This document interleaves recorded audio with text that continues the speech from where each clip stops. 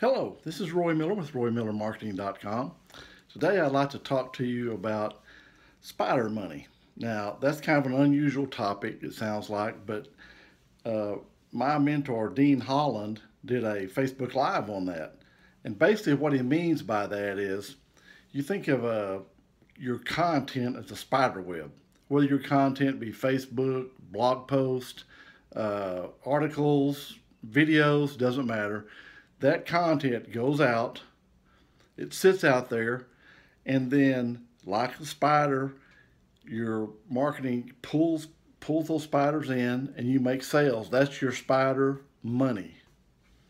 Okay, so the the bottom line of, of it all is the more spider webs you have out there, the more spider money you're going to attract.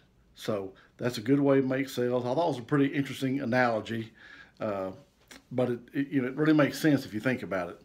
So this is Roy Miller with RoyMillerMarketing.com saying until next time, thank you for watching.